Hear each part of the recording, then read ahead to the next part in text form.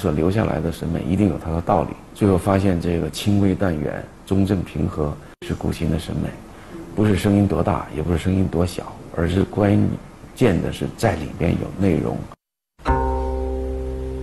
二零一四年六月，在世平县艺术画廊举办了一次名为“琴古、琴今、琴网东床识琴会”，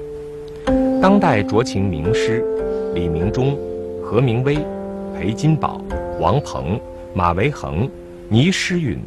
张厚明、叶东礼等老中新三代斫琴人代表人三十二床名琴相聚一堂。似有古琴界南宗北派华山论剑之势。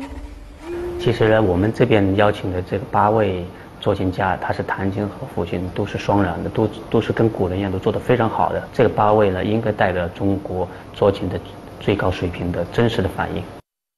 今天呢，呃，取得的一些小成就，呃，还应该归功于我老师家，因为有那么多老琴给我看。老琴的这个古琴的苍松透润的这种音色，呃，已经听在耳朵里面，融化在我的心里面了。后来制作古琴的时候，我一直遵循着这种传统的这种古琴的这种特有的声音，松沉浑厚。如今，制作精良、音色优美又经过历史沧桑幸存下来的古琴，也已进入了人们的收藏视野。二零零三年，中国嘉德春拍一张唐代九霄环佩琴，以人民币三百四十六点五万元成交。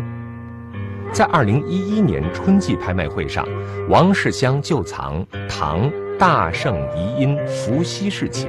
以一点一五亿元人民币成交。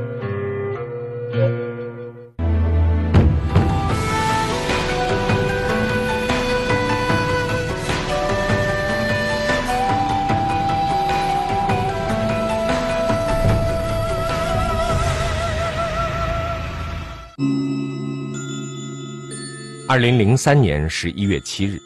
古琴艺术和古琴制作被联合国教科文组织列为人类口述和非物质遗产代表作，成为公认的人类共同的重要精神财富。二零零六年五月二十日，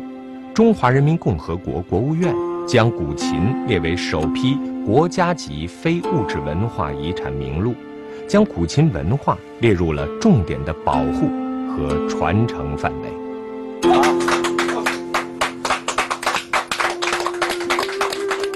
戴晓莲，现为上海音乐学院民族音乐系副教授，古琴世家。九叔公就是鼎鼎大名的古琴大师张子谦。戴晓莲从小学琴教琴的经历。真实的反映了古琴从曲高和寡到被捧上神坛的戏剧性命运。如今，他依然保持着平和的心态，从事着他一生为之付出的古琴教学事业。古琴的传承呢，不仅仅是以专业的学生这样的来传承，我觉得是各个方面的人都可以在我们的古琴的这个呃传承上面做出他们自己的这个，比如说作曲的学生，作曲的学生他们来学古琴，那就是对他的将来的呃创作思维等等都是有有很大的帮助的。呃，作为学校的本科生、研究生，那他们更是呃，比如说是学生呢，就跟我一块儿去参加。各种各样的会议。